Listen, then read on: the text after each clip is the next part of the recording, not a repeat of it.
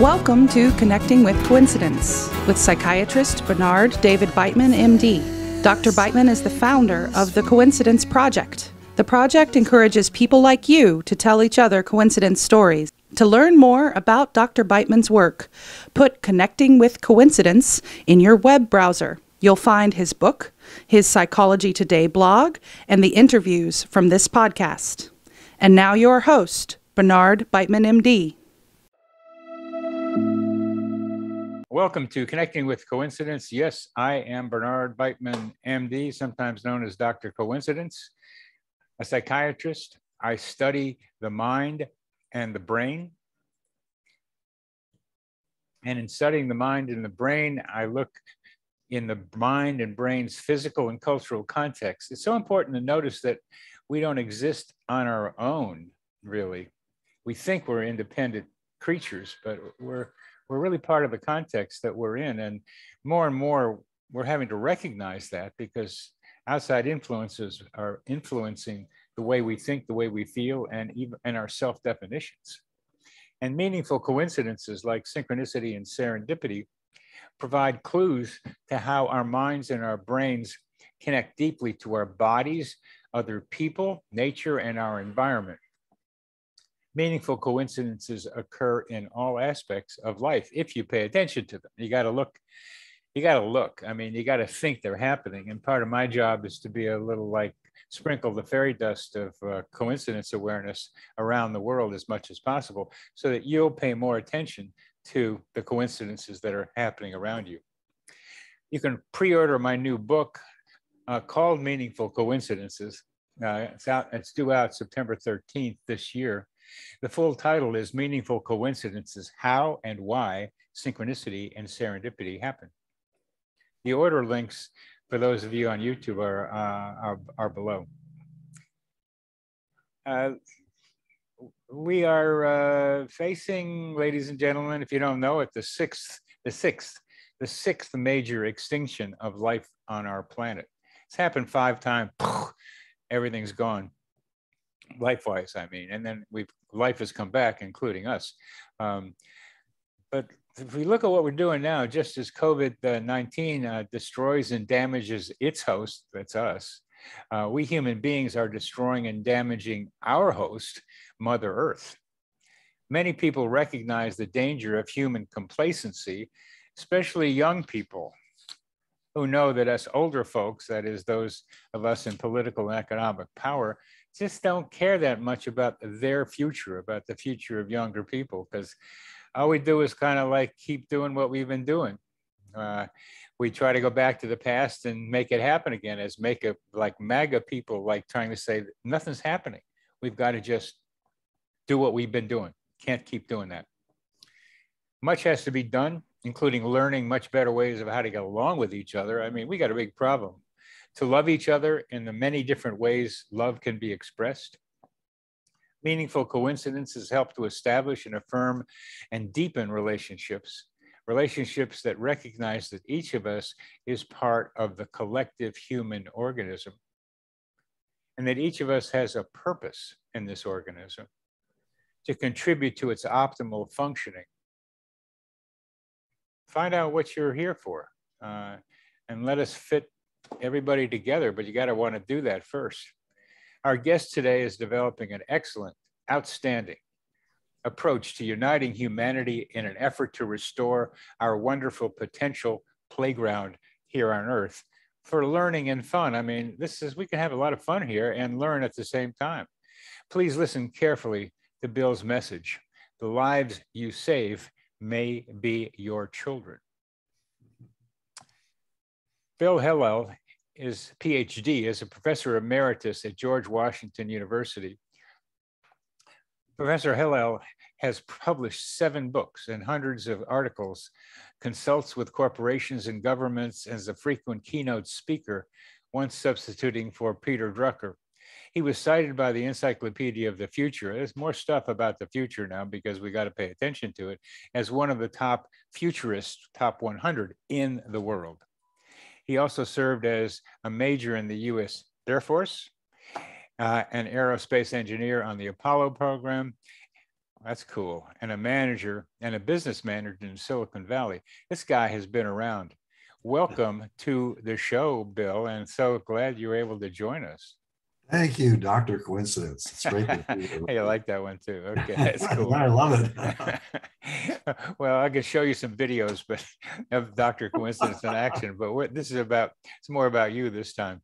Why don't you tell us about the the one coincidence that you remembered, maybe, or at least one of your coincidences? I was racking my brains and I came up with a good one. All right. Uh, my wife and I were visiting the uh, the uh, national museums, the Smithsonian museums, and we went into the Museum of the American History, I think it's called, and we were just stumbling around. We saw this classroom. It was an entire classroom that was there behind glass, and I was fascinated by that. And I went to the plaque, and it explained the story. This was a classroom that they uh, they uh, uh, that was destroyed. Uh, the, the building the, the, building was taken down.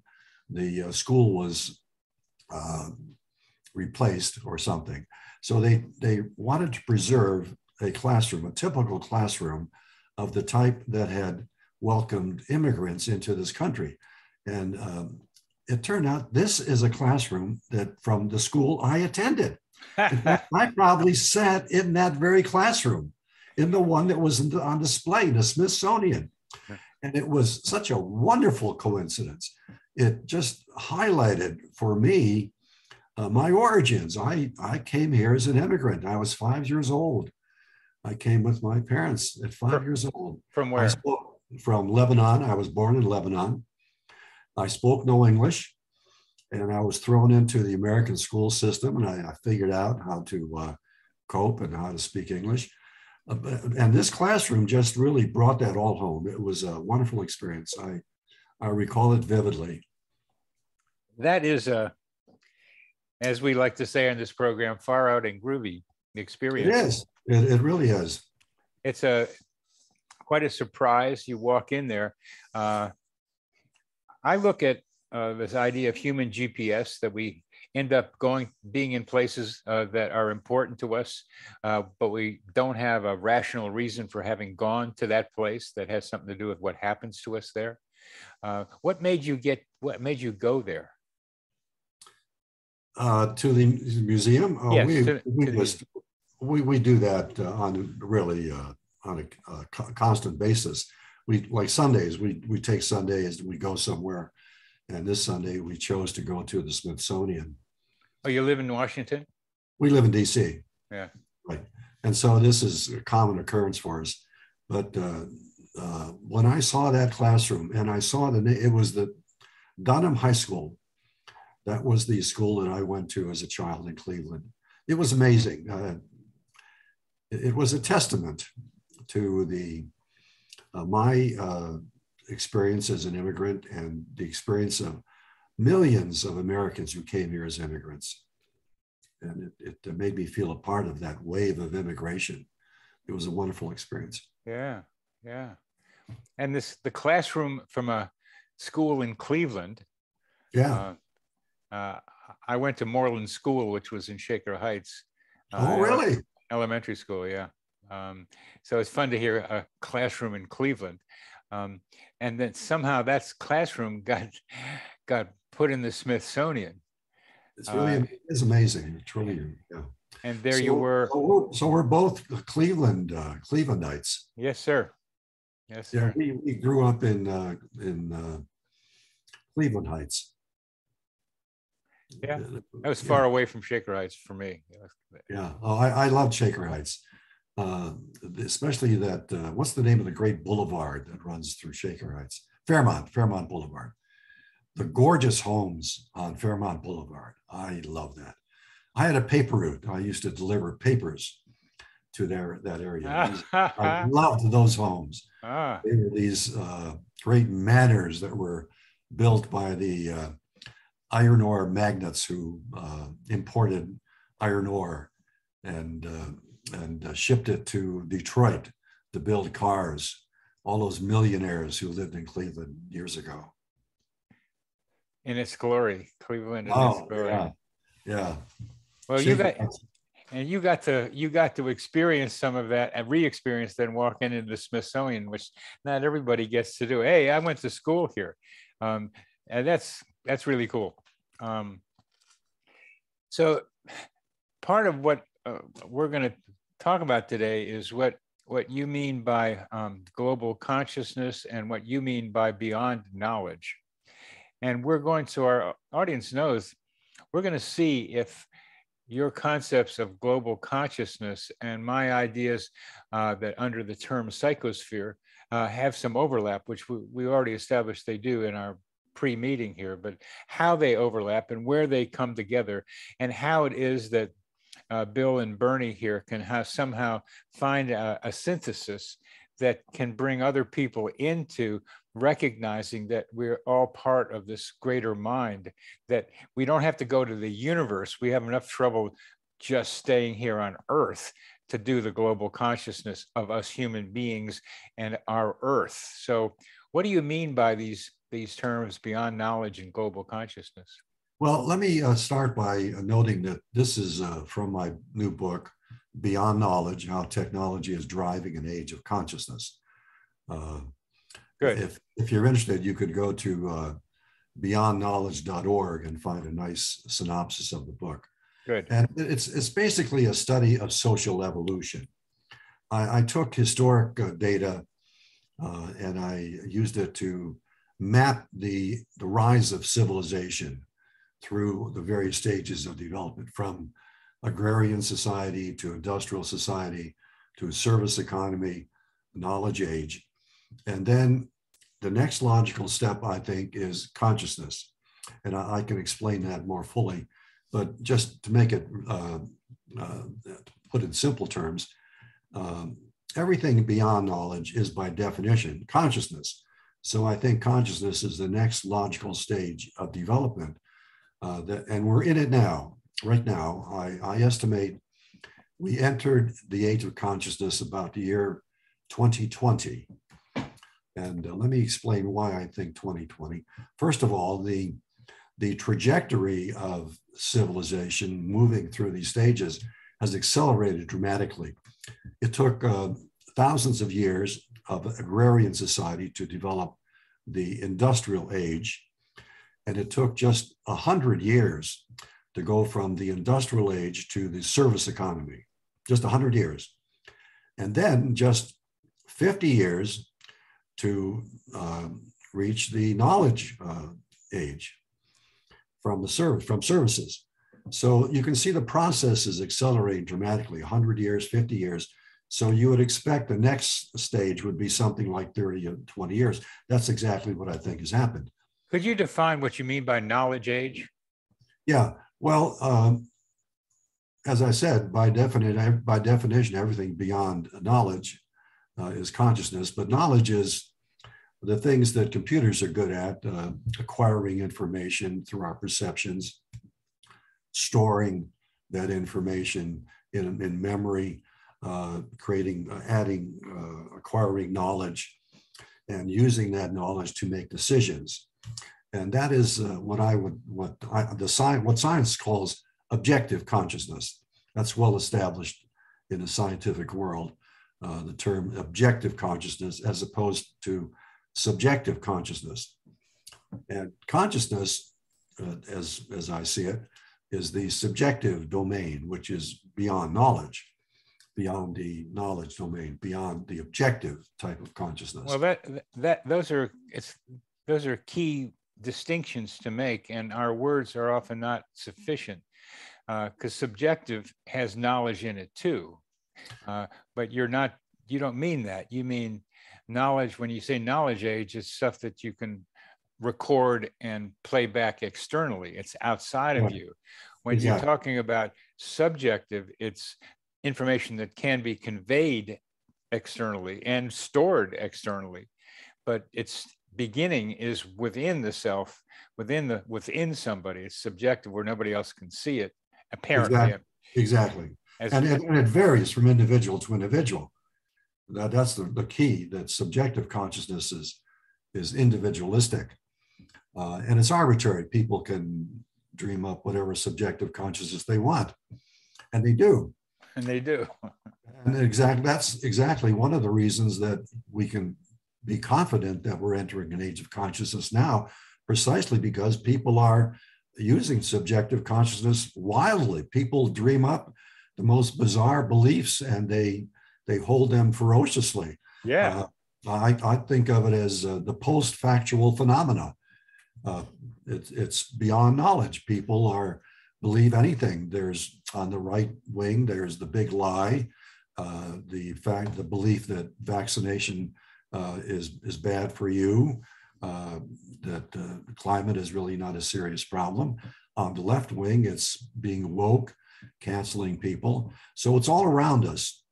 Um, this this uh, this tendency to to believe almost anything really uh, detached from reality. Really, uh, it's it's a new phenomenon. It's always been around, of course, but now it's it's been amplified by social media social media and the digital revolution are driving all of this. I think that's so clear what you're saying there, Bill. Um, uh, is this subjective consciousness has a big downside in it, in the sense that you can just make up stuff and believe that it's true.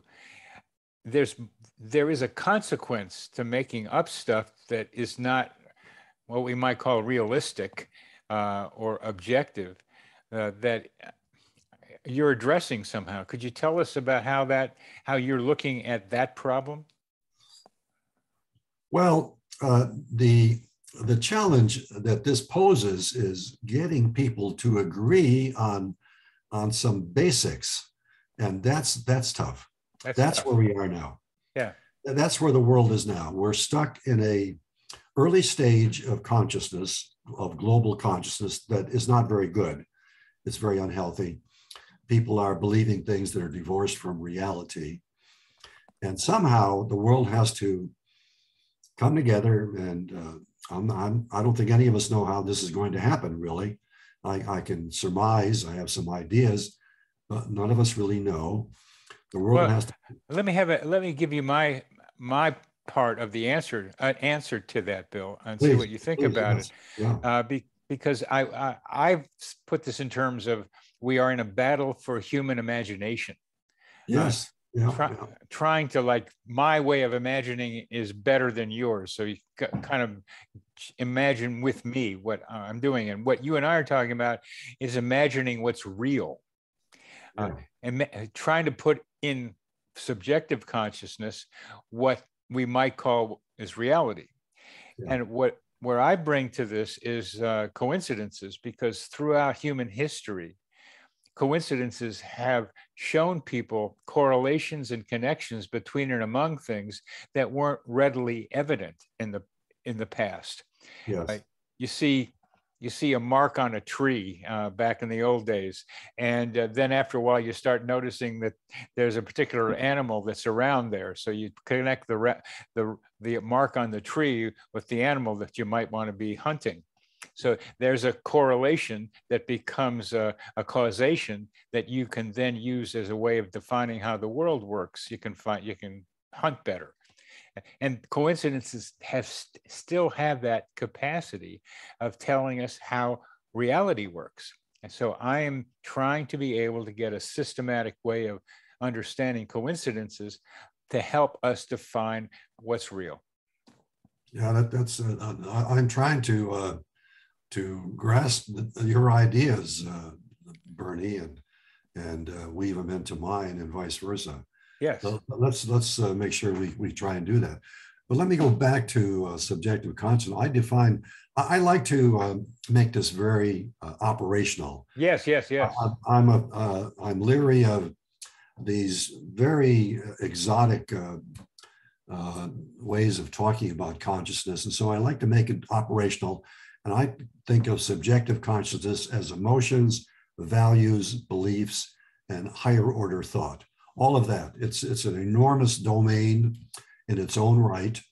Uh, you can add wisdom in there and vision and, and lots of other things. Um, but there's a very precise distinction between objective consciousness and subjective consciousness. The scientific world understands that. And we are making that transition now from the objective world, the knowledge age that we've been in for two decades. It started in the year 2000. And uh, now we're entering the age of consciousness, where uh, it, decisions, uh, events are dominated by emotions, values, and beliefs. That's, that's a very precise idea. There shouldn't be any doubt about that. Uh, and I think we entered uh, the, the consciousness age, the year 2020, and I'll tell you why. This started, the post factual stuff started maybe 10 years before that, but I think it reached a climax in 2020 when we saw an insurrection on, on our political system. That is a, a dramatic event, and I think it, it marks the, the beginning uh, of the age of consciousness because it became deadly serious at that point, 2020. So I feel pretty confident in that, uh, using 2020 as the beginning of the age of, of consciousness. And my little company, TechCast, has studied this. Uh, we use, uh, we have 200 experts. We pool their knowledge uh, using a system of collective intelligence to forecast various things. And we did that with uh, consciousness, we asked people, uh, do you think major decisions in family life and individual life, organizations, and governments are made on the basis of objective knowledge or subjective consciousness? And it turned out that they think 60% or more of these decisions are made on a basis of subjective factors, emotions, values, and beliefs. And in some cases, it's higher. In organizations, it's uh, about 65%. For individuals and family, it's like 70%. And for government, it's like 75%. They, they think that government is, is run on the basis of beliefs and emotions. And it is clearly. Look at the, the major issues of our time abortion, uh, climate, immigration. Those, those issues are not being decided based upon rational analysis of facts. They're being uh, uh, they're political footballs because uh, various parties have different belief systems and they they want power and, and there's, there's a lot going on, of course, but it's it's not rational logic. It's based on subjective values and beliefs. So I think we're in this uh, age of consciousness right now. That's why things uh, are so uh, perplexing because people can say almost anything and, and believe it fervently. They're convinced of it. Uh, so it's a different world. Uh, that much I, I, I, think we know. I, I what, think what do you do with uh, intuition? Well, intuition is part of subjective consciousness. I think. Yes, and you don't mention it partly because it's not so definable, but it's it's having knowledge and you don't know where it's coming from exactly. Yeah, there, there are uh, uh, myriad aspects of subjective consciousness. Yes, yes, yes, yes. Intuition, yes. Uh, understanding. Uh, you can people will, will give you lots of different terms that ah, uh, fall into that same but, category. But to, from, a, from a practical kind of guy, you are uh, emotions, values, uh, and higher intellect. And beliefs, yeah. I, I, like that. Emotions, values, beliefs. That's a good place to start. Yeah, yeah okay. Yeah, that's, and, uh, and there's, there are lots of other aspects of that. This is getting really clear to me. I've talked with you before, but this is really clear to me now about what you mean by consciousness. Unfortunately, the word consciousness has a lot of different uh. You know, connotations, and I know guys who are talking about it's all consciousness the the universe is all consciousness and it's it's it's troubling because I don't, they don't know what the universe is because it's expanding faster than the speed of light. And they don't know what consciousness is because it's expanding with it. And you can project all kinds of beliefs that you want on there. But there, there's some truth in a lot of different places. And I think I'm more into the uh, like uh, we- the weirder stuff than you are. Uh, that, and I, ha- I, but I try to be as as operational as I can within that sphere. And that's uh, where we have somewhat different uh, perspectives. But that I'm, I'm getting 2020 and uh, and January 6th uh, as the turning point for what was happening anyway, where people are yet using what you're calling consciousness, what I'm, I'm calling like um, beliefs uh, with you, beliefs, emotions, and values, and trying to press them on to the rest of the people around them. And the reason that that's important, I want to ask you, we want to come back to what you were, you, you know what you're about to say, but I am very, uh, as a psychotherapist, uh, I'm disturbed by the lack of future awareness among psychotherapists. The hmm. psychotherapists tend to talk more about the past and maybe the present and what you're feeling now. But what we do as human beings is create futures. Yes. We imagine futures all the time. Yes. I mean, the sports guys are saying what's going to happen in the next game, and political commentators are what's going to happen with this politician. Is Trump going to do this, or is that? But but what, they're always talking about what might happen. The stock market is a lot of different predictors. There's a lot of future orientation in future minds, and psychotherapists don't do that very much. To help create these expectation videos that are going to help people function. What? Do, how do you? How do you okay i'm trying to say the collective human organism needs to develop collectively an, a vision of the future that's practical and based on what's real around us that's exactly you, right that's, so that's that's really uh, uh, the purpose i think we're we're uh, we're, fa- we're facing we have to accept the responsibility as a species as as a civilization for uh, a maturity, a sense of maturity in our consciousness. That's the best way I, I, I can put it. Uh, we have to, it's very much like a child uh, through uh, the crisis of maturity to become an adult. Uh, when they're when uh, they reach the age of teens, teens uh, are bordering on adulthood and and they can run amok. I've, I've I've raised two children and I see it my kids, it's everywhere. Uh, they have a hard time figuring out who they are, what they want to do, and they get into serious trouble. And when the pain gets uh, too severe for them, they finally, at some point, uh, wake up, they grow up, and they accept responsibility. They define who they are as best as they can. They set objectives and they become adults. That's roughly where we are as a civilization we have to um, accept our responsibility uh, as to what we want to do with this planet, uh, be realistic about it, develop a, a vision or a, a, global consciousness. You could call it various things. You could call it a global ethics if you like, but we have to develop some kind of a, uh, a belief system. Every society has to have a belief system. It can't function otherwise.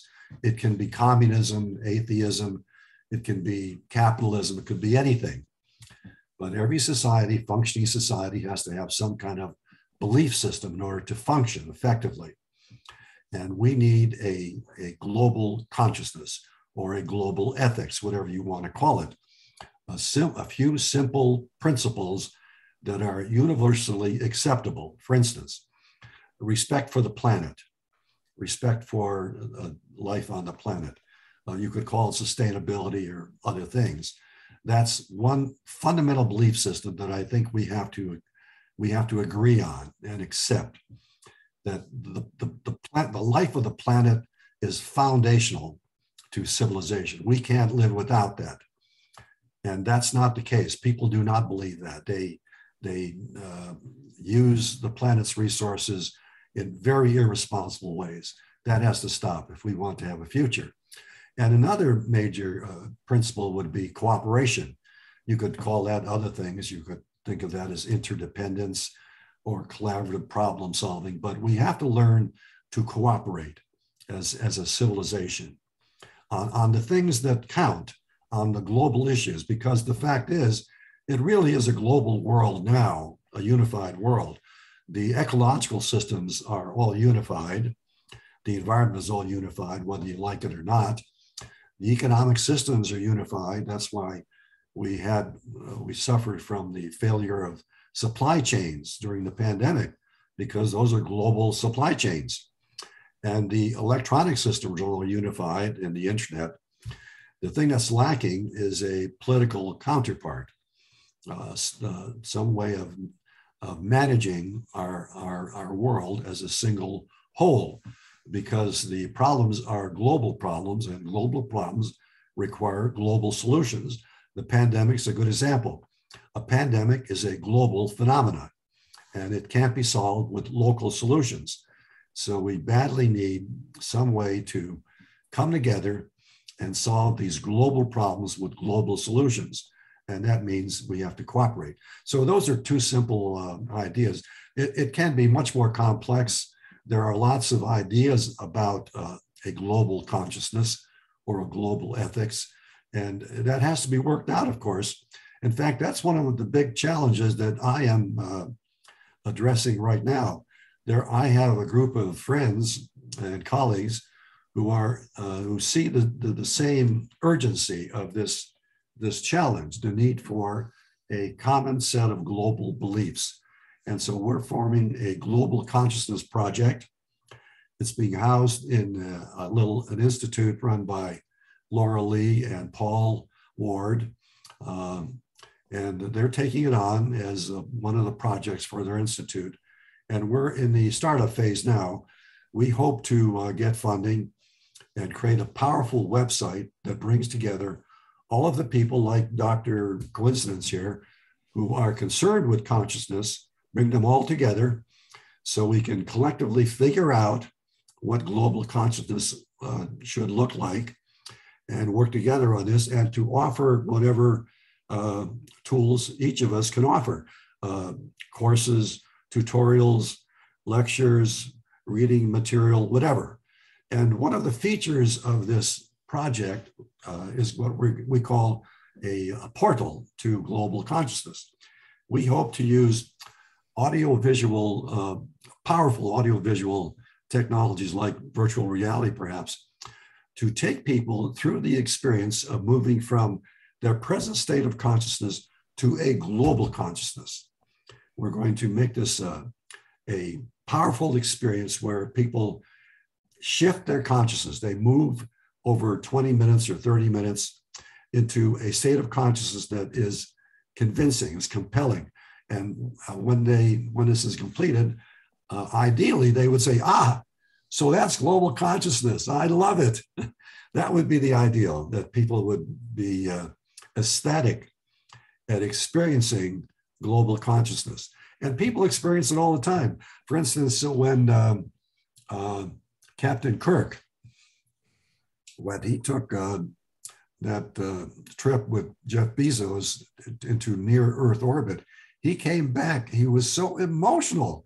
He was ecstatic. He had experienced global consciousness. He saw the Earth as a single whole with all of the, the ecological systems being fragile and so forth.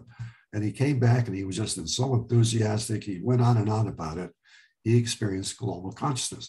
And that's what we need to save civilization. We need to have a global consciousness that is widely accepted, widely uh, believed in. That uh, right now, uh, the, the consciousness that most people operate on are the, the principles that we inherited from the industrial age, economic man, uh, the idea that, that was uh, made clear by um, uh, Max Weber, the Protestant ethic. And that focuses on self interest, money, and power. Those are the values that govern the world now. They were valuable during the industrial age, and they may still be valuable in the future, but they have to be supplanted with a global consciousness, or we're not going to survive as a civilization. Let me stop there. I, I think those are the key points. Well, uh, you know, I I write stuff too, and oh, just work. Why don't you repeat where people can see what you're talking about? Read read online. Uh, you mentioned it earlier. Beyondknowledge.org. Beyondknowledge.org. Yeah. Uh, because uh, I've had to deal with people talking about consciousness from various, from a different perspective from what you're talking about. Uh, yeah, that's the that's the the Jungian perspective, the Carl Jung.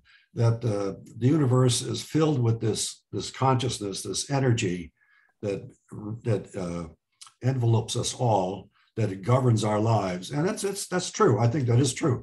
But what's manifested is different. What we uh, actually live with is different. It's our actual beliefs and values and emotions, and that's where I'm focusing on the operational consciousness, what people are actually living and experiencing.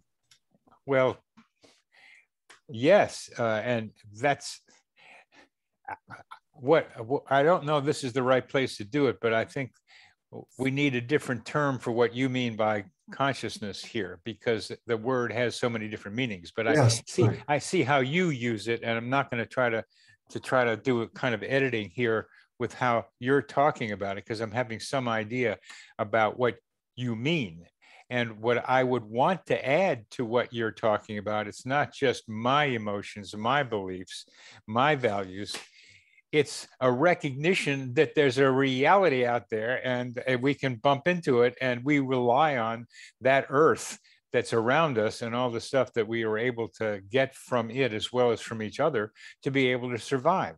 There is something real out there and that we are part of what that reality is and that, that we are merged with it far better than we can but this is this is part of what you mean by global consciousness i think is recognizing the reality of our lives here on earth and, try, yeah. and trying to map it and i am adding not i'm adding to what you're talking about um, the idea of the psychosphere that part of the reality of this life on earth is that we share uh, consciousness on earth with each other yes that we, that we put ideas out into this yes. psychosphere we get ideas back from the psychosphere right.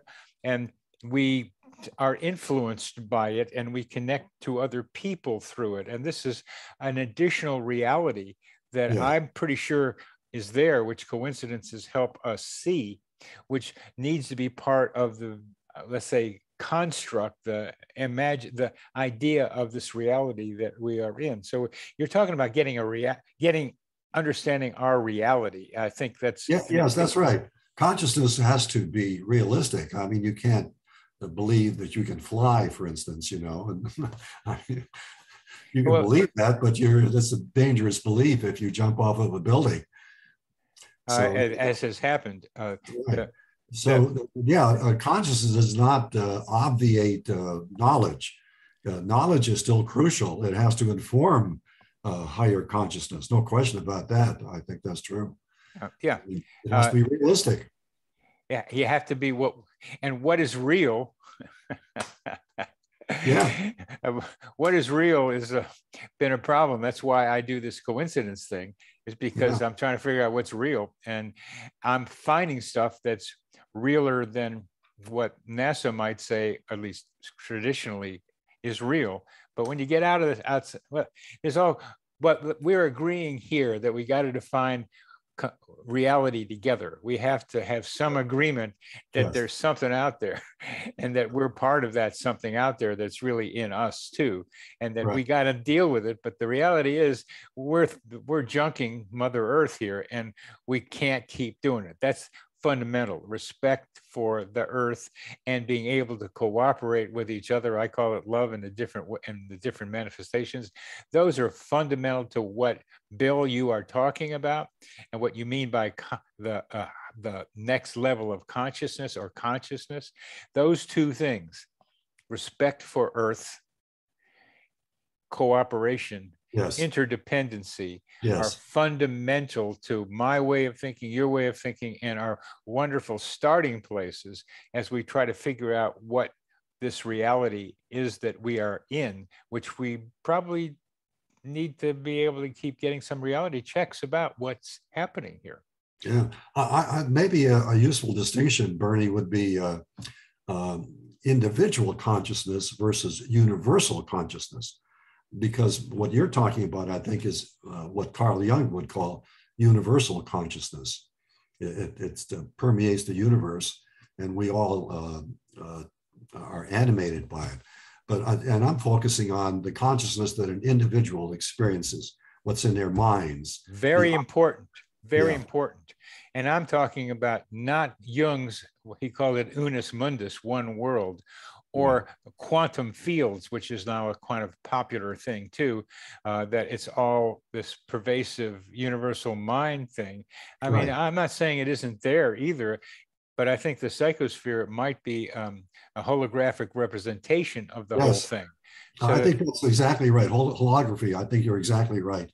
I So I want I want to just I'm nearsighted, so I want to just say what's going on here on Earth, which is the psychosphere that we are part of. And you are interested in the individual mind, which is so vital because that's what this is all built by. I'm also interested in connections with people, the interpersonal part of it, and also the na- nature. Since I connect with trees, I have this thing with trees that it's getting deeper. I was surprised to see that last week, where Mhm. I I have a little kind of I have a kind of um, like a, a little resistance to it. But the I was out there with the trees last Saturday, and I was becoming more and more one of them. I, I, I love it. they were they were accepting me. I was standing around with the- all these trees in the forest, and and and I was becoming one with uh, one of I- them. I Uh, love it. I love it. yeah, I, I love trees. Trees are, are so foundational. The way they're rooted in the earth, the way they're rooted in the earth and they grow to the sky, they're amazing. You're They're, right. they're, my metaphor because I Yeah. like to have my cleats in the ground from a football Yeah. metaphor Yeah, and my mind in the sky. yeah, And that's what they do. But they also have this wood wide web where, where they connect with each other in the forest. yes. So it's it's an as above, so below, or below is as above. Uh, that the psychosphere is a is a reflection of what the trees do with each other. They connect with Yes. each other, and they're hidden. And the psychosphere is hidden, uh, but it connects us with each other in ways that we're not quite aware of. Yes, uh, uh, that's a reminder that really all life shares consciousness. Trees are conscious. Uh, animal life is conscious. They're all connected. They they they're aware of their environment. They take action to protect themselves against predators. No, you're exactly right. Animals are conscious. We all share it. In fact, you know, I, I lately I find myself thinking that a better way to think about events of the day uh, the, the nat- uh, global events, national events, uh, they're not they're not actions that individuals take as so much as they are a drama.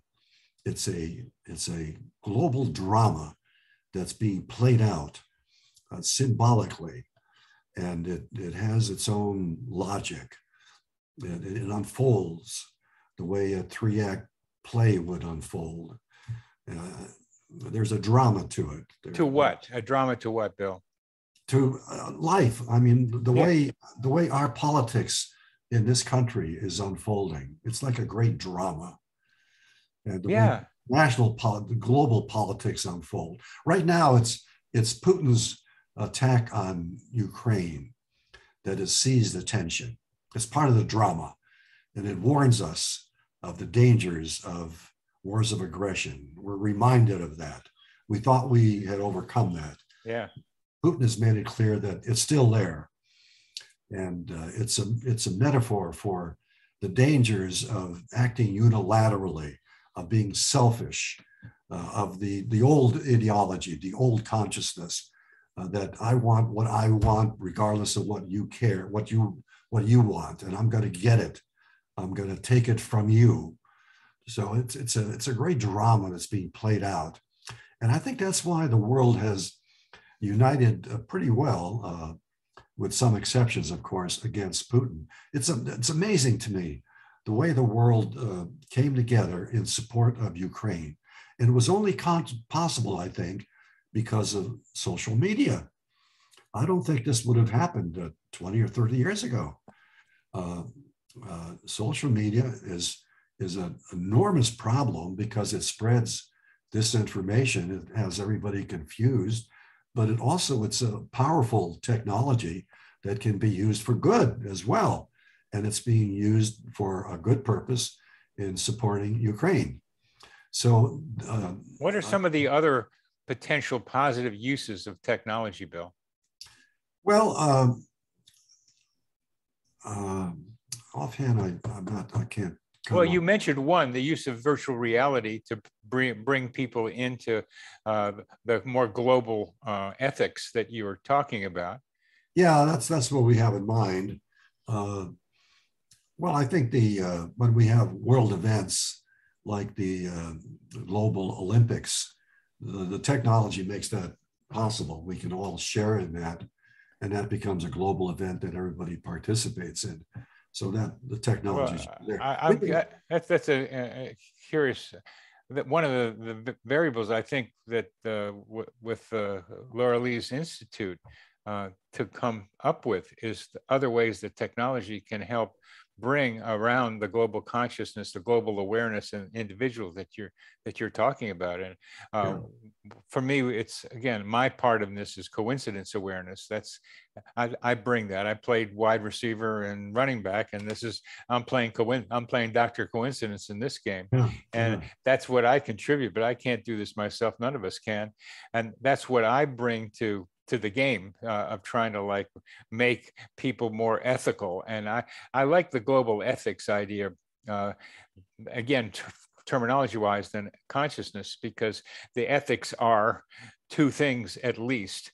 Uh, respect for Mother Earth, respect or Father Earth. Some people are able to say now, Yes. and respect for uh, uh, our interdependency, which coincidences tend to be able to show, and that that global ethics gets to what, uh, again, my idea is vision, to create a- an imagine to imagine a future that we want to have and begin to get the ways to get to that future, which Exactly. that that future has to be ethical more than ethical, it's got to be one that can allow us to survive human beings because we're not going to be able to survive. And maybe we shouldn't. I mean, some people think, okay, blow it up, blow the whole thing up.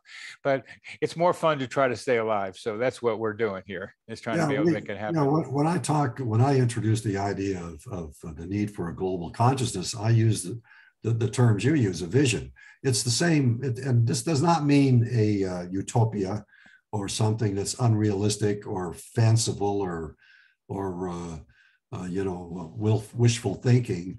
It's vision in the sense that a business person would use it. If a business person wants to introduce a new product, they have to have a vision for the product. They have to be able to imagine it. And if they can envision it, and if it's realistic, then they can do it. So that's the sense that I use uh, global consciousness. We're trying to envision a, uh, a plan or a set of principles or whatever that would enable the world to be sustainable so that we would not kill ourselves on this planet. So I think it's a very practical way of thinking about vision. I, I agree with you. And I, I, w- I prefer the term global vision. Um, Yeah. uh, and to have a global vision in the mind of each of us, which has the two elements of earth and interdependency and cooperation. And I think you're that you're putting your whole hand in your head, not just your finger, on what we got to be able to get people to recognize Right. and how. And you know, uh, going back to uh, coincidences, I, I I like to think uh, coincidences fit nicely into the the view of life as a drama rather than a logical uh, unfolding. It's, it, you know, it has its own its own logic. It, it's it's a story. yeah, it's It's a journey. It's a story it's a, a story is a good thing and we're we're in a movie and Yeah. we we're in a movie is well i'll say it we're in a video now with all the videos out there and we are as a human species can create a video of our future. Yeah. that- that's that's what i'm into. I, I could i could do that playing football.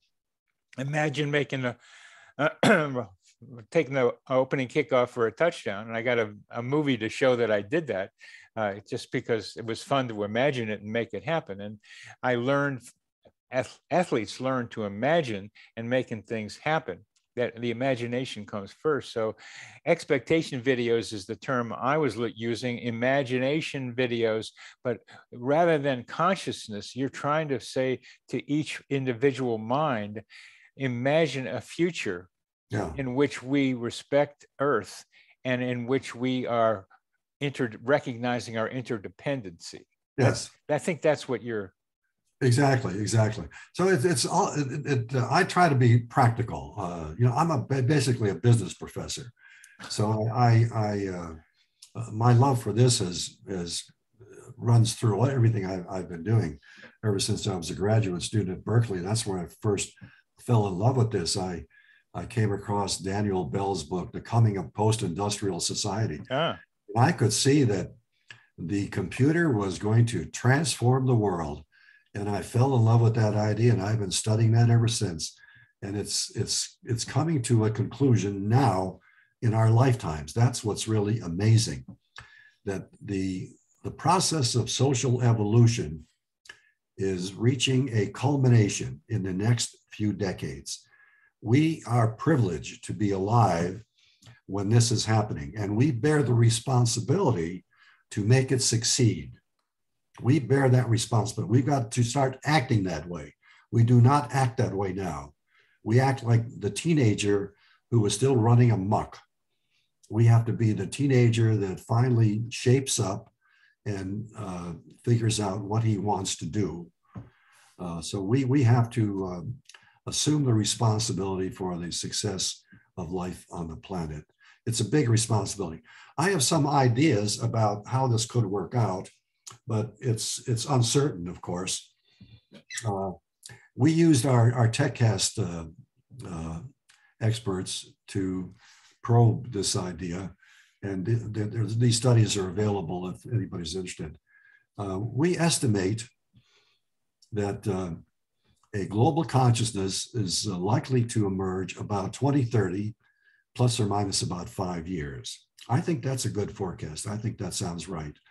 Uh, I uh, forecast the beginning of the knowledge age at the year 2000 in 1970.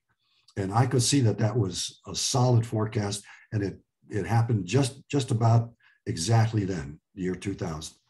And that's the way I feel about a global consciousness. I, I feel pretty confident about that. But it's, it's going to happen in a complicated way. We, we uh, see uh, see it happening through muddling through. That is uh, no major decision to adopt global consciousness, but just uh, continue to, to behave as normally, but keeping in mind the need for sustainability and the need for cooperation. And if we do that, as we address big crises, consciousness will evolve. It will emerge gradually, incrementally, if we keep those ideas firmly in mind.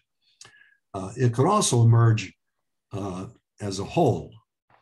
That is, at some point, a significant number of leaders in media and government and business and academia could uh, collectively start saying, we've got to develop a global set of values, a global ethics. So it could it could happen either way. That's our best thinking, but you know, there's this is a low probability and there's a lot of uncertainty about this. We don't know. And I like to, uh, when I give talks like this, I like to ask the audience what they think is likely to happen. What is their sense of how the crises uh, are going to be resolved? Uh, what would global consciousness look like for them? And I like to explore that because it's great uncertainty about this, no question about it. And I think it's the right thing to do, Bill, is to ask the audience, um, Yeah, because the audience is who we're talking about, and they Yeah. need to be thi- they need to be thinking about it as we come exactly. ne- as we come near the end of our, our time together, Bill. Um, uh, the the idea of responsibility um, is so self responsibility so vital, and what I run into quite commonly with coincidence discussions is that people want to um, suggest that the coincidence has been caused by something like God or, ra- or random chance, each of which may have some influence. Mystery is always around us, and, and probability uh, does play a part in defining a coincidence. But we have a lot more to do with making them happen than people often want to recognize.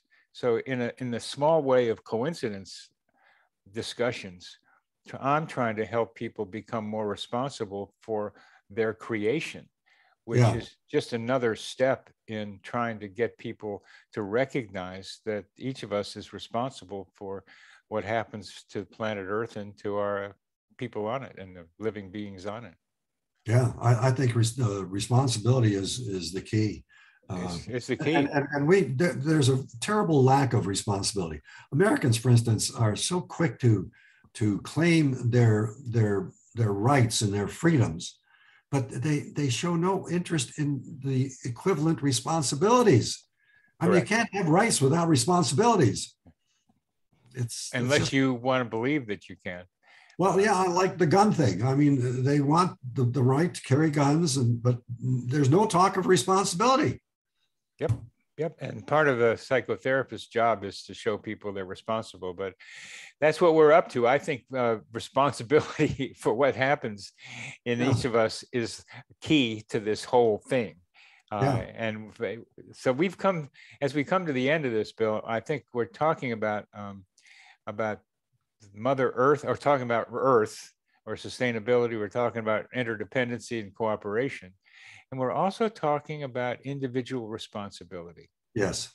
And I, I think adding that to the, th- the three major, to your two major ethical ideas is what you were talking about doing. And I'm, I'm big on that, is looking for what I had to do with to making this happen. Yeah. Yeah.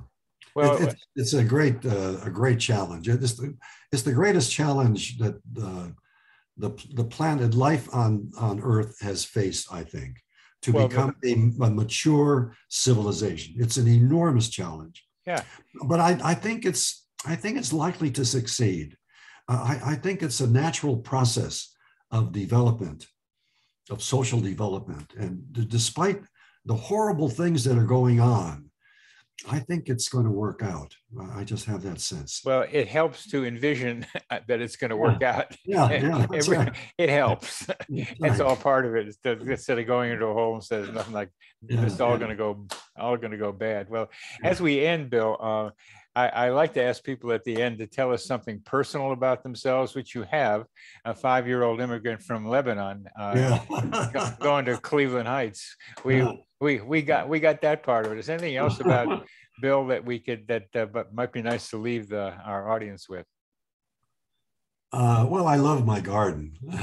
my garden is uh, a great joy in my life because it's my connection to nature and through the whatever these great forces are that govern life, the spiritual forces. You know, whether you want to call it God or whatever. I don't know who who this God would be, but through my garden, I am in touch with the forces that govern life, and it's a great source of wonder to me and great satisfaction the way you feel about when you're with the trees, Bernie. That's, that's the way I feel in my garden. That's right. And we need more people being able to have experiences like that. There's, there's a lot for us to learn out there and Yeah, enjoy. yeah. Well, Yeah. Bill, um, thank you very much for uh, being with me. I, I I wasn't sure about how this was going to go, but it's really been a pleasure talking with you. I feel the same way. I think we really connected uh, intellectually, Bernie.